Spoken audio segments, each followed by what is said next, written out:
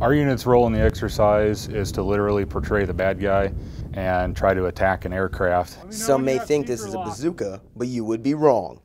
The 266 Range Squadron uses its man-portable aircraft survivability trainer, Fire. or MAST, and a sequence of triggers to provide live training missiles for pilots in the sky. And then the aircrew uh, or aircraft itself can, uh, can practice evading, whether or not it's a uh, reactive thing such as maneuvers or a passive thing such as jamming from the aircraft. Our threat operators are trained annually to provide that sort of uh, information and feedback so that the aircrew knows whether or not they would have been successful in evading those kinds of threats. These gunfighters are a special breed. They are not only Air National Guard, but also experts with their equipment.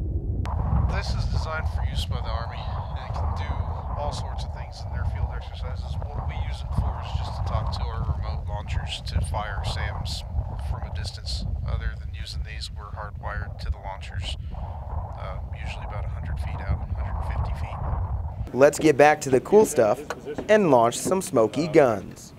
So Smoky guns simulate AAA. The only part of the AAA that it's simulating is the muzzle flash from the uh, from the gun.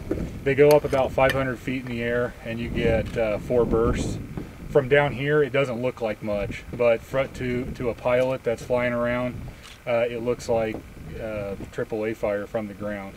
So uh, as soon as these things time in, Reporting from Mountain Home Air Force Base, I'm Airman First Class Devin Nothstine.